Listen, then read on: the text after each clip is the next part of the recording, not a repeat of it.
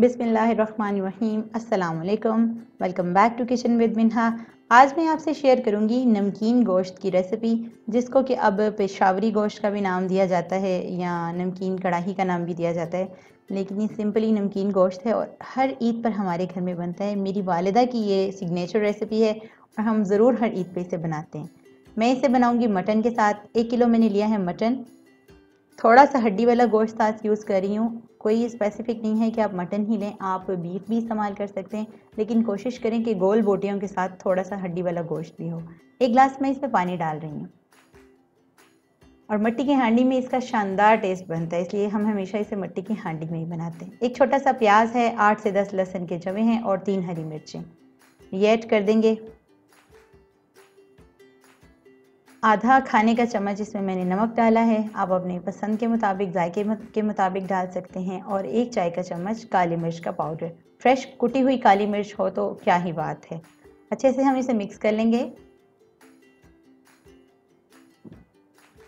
और बिल्कुल धीमी आँच पे हम इसे कवर करके छोड़ देंगे। भूलना नहीं है आपने, लेकिन थोड़ी देर इसे छोड़ दें, पाँच से सात मिनट। देख लेते हैं। ये देखिए, अच्छे से बॉईल आ गया है। गोश्त ने अपना पानी छोड़ दिया है और ऑलरेडी हमने एक गिलास पानी का डाला था गोश्त में तो वो सारा जो है वो पानी मिक्स होके सामने आ गया है। अब जो फ्लेम है, आँच है, वो आपने धीमी ही रखनी है। इसे दोबारा से कवर कर देना है। और इसे हम तकरीबन पका लेंगे 15 से 17 मिनट। आप 20 मिनट भी कर सकते हैं। आप देख लीजिएगा गोश्त अच्छे से गला है या नहीं। और कोई बहुत ज़्यादा इंग्रेडिएंट नहीं है। देखिए, पानी बिल्कुल खुश्क हो गया है। थोड़ा थोड़ा सा पानी है इसमें। हल्के से हम हिला लेंगे और तकरीबन एक चाय का चम्मच जो है वो मैं इसमें जैतून का तेल डालूँगी। आप दूसरा कुकिंग ऑयल भी यूज़ कर सकते हैं। और जो लोग डाइट करते हैं, उनके लिए बहुत हेल्दी है, कोई इसमें फ़ैट्स नहीं है ज़्यादा और कोई मसाले और ढेरों ढेर घी नहीं है कि आप खाने से जो है वो इसे मुश्किल महसूस करें। तो आराम से आप ले सकते हैं। और इस ईद पर आप इसको ज़रूर ट्राई कीजिएगा और मुझे अपना फीडबैक दीजिएगा कि कैसा बना। ठीक है?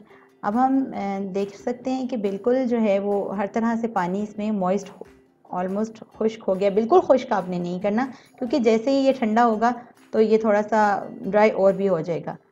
अब देखिए गोश्त, माशाल्लाह कितने अच्छे से गला है। इसमें हम तकरीबन एक लीमू का रस डालेंगे। मेरे पास बड़ा लेमन था तो मैं हाफ़ डाल रही हूँ। और थोड़ा सा हरा धनिया डाल लेते हैं। साथ में फ्रेश कुटी हुई काली मिर्च डाल लेते हैं। काली मिर्च का पाउडर मैंने फ्रेश बना कर रखा था। वो ऐड करी हूँ। खुशबू भी बहुत मज़ेदार है और जायका तो इससे भी लाजवाब है। और अगर आप एक बार बना लेंगे तो आप लाजमी इसको ट्राई करेंगे बार बार क्योंकि ये बहुत शानदार बनता है। और देखिए, मसाले भी बहुत कम है, कोई ढेरों ढेर मसाले नहीं है कि जी, ये भी डालना है, वो भी डालना है। बहुत कम वक्त में टाइम सेविंग रेसिपी है और टेस्ट में लाजवाब है।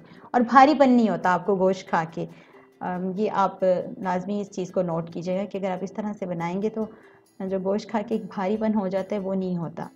और ईद का गोश्त जो है, उसको ज़रा ठंडे बर्फ़ वाले पानी में वॉश करिए ताकि खून जो है, वो ज़्यादा ना निकले बाहर। क्योंकि फ़्रेश फ्रेश वो कटिंग करके दे रहे होते हैं तो मीट में से जो, गोश्त में से ब्लड है, वो निकल रहा होता है। डिश आउट कर लिया मैंने इसको। यहाँ पर भी थोड़ा सा हरा धनिया और काली मिर्च डाल दूँगी मैं। साथ लेमन के स्लाइस रख दिए हैं डेकोरेशन के लिए। और आप किसी भी तरह से इसको सर्व कर सकते हैं, रोटी के साथ खा सकते हैं बॉयल्ड राइस के साथ सर्व कर सकते हैं सेवन अप के साथ वैसे ही अपने गेस्ट को पेश कर सकते हैं।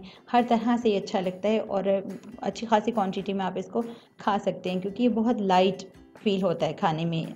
और इसके अलावा ये कि अगर आप इस रेसिपी को ट्राई करें तो इसकी पिक्चर्स मेरे साथ शेयर कर सकते हैं व्हाट्सएप पर या इंस्टाग्राम पर। और आप अपना फीडबैक मुझे ज़रूर दीजिएगा। वीडियो पसंद आई है तो थम्स अप दीजिएगा। लाइक एंड शेयर कर दें। सब्सक्राइब नहीं किया तो अभी तक सब्सक्राइब भी कर दें। किचन विद मिन्हा को इंस्टाग्राम और फेसबुक पर किचन विद मिन्हा के नाम से सर्च करके लाइक एंड शेयर कर दें।